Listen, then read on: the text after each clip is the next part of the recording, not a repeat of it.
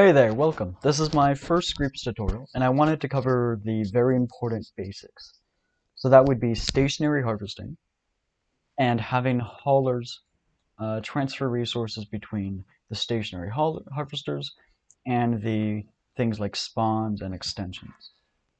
So to start off, I'm using tutorial branch 4, so I'm using the fourth section of the tutorials code, and I'm going to be editing in Visual Studio Code. So I'll just open that up real quick. Open with code. There we go. So let's start with transferring harvesters into stationary harvesters. So the first thing to note is we've got two states. We've got, is the harvester uh, not full? If it's not full, harvest energy. If it is full, transfer that energy to the spawn or extensions. So we want to delete this part. We want haulers to do this instead of harvesters. So we're going to remove the, the transferring part. we're also going to remove the check if it's full, because we don't need to do that. Now we've just got it harvesting.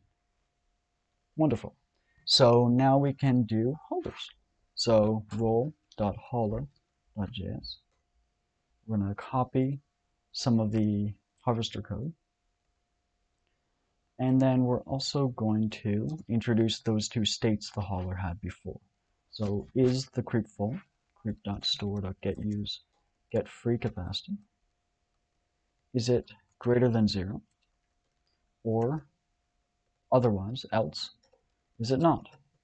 So if it is not full, we want to do, we want to find dropped energy on the ground. So const dropped energy. Sorry, I also need to change this. Instead of role harvester, it should be role hauler. So const dropped energy equals creep dot room, the room of the creep, and then we need to uh, find. So we're finding something in the room. We want to find dropped energy. So find dropped resources. Filter. We want to filter resources that have a resource type, resource dot resource type, equal to dropped or equal to resource energy. There we go. So now we're getting dropped energy, but we only want one dropped energy. So let's do const closest dropped energy. And that will be using creep.pos. We're going to find closest by range to the creep's position of dropped energy. Finally, we want to, uh, we wanted this part of the, let's just take from the upgrader, and instead of harvest, we're going to do pickup. And instead of sources, we want the closest dropped energy. There we go. So now the creep will find dropped energy. It will find the closest dropped energy. And it will try to pick it up. And if it's not in range, it will move to pick up the dropped energy. So the next part is having it transfer to the spawn. So we're going to get spawn. So const spawn equals creep.room find, I'm going to find my spawns. Oh, that's and then const closest spawn. We want to get the closest spawn, even though there's only one spawn right now. Creep.pos, find closest by range. I'm going to do spawns. And then we can copy this again. But instead of picking up, we're going to transfer. And transfer requires two arguments. It requires a target requires a target, and it requires a resource type. So we're going to give it a closest spawn and resource energy. And then move to closest spawn. There we go. Finally, we need to spawn upgraders and spawn haulers. So I'll clean this code up a bit, removing some console logs and formatting it a little, a little bit. And then down here, I also want to add continue statements. So that will make it go to the next creep every time this is true. Then instead of upgrader, we also need to run the hauler. So hauler, and then role hauler. So to auto import, just adjust that. And now we actually need to spawn them. We're running the hauler, but we don't actually have haulers to run.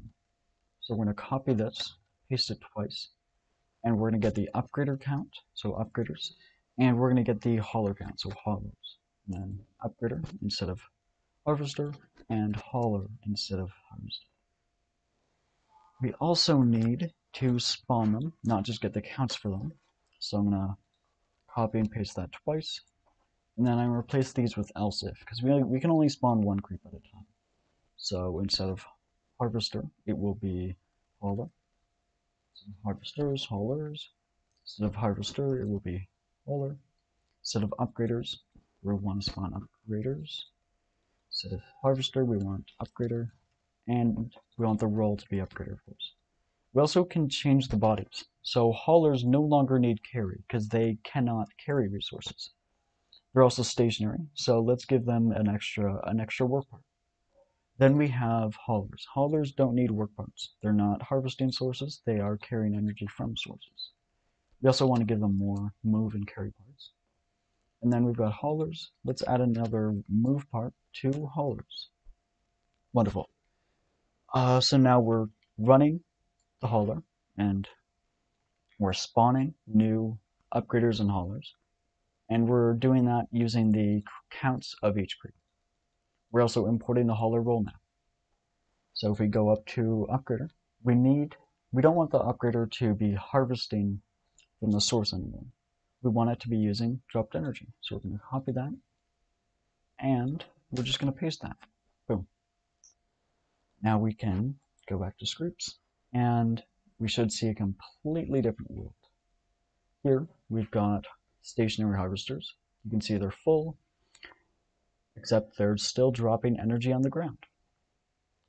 Energy here, energy here, and you can see they're bouncing back. This is just a private server, don't worry about that.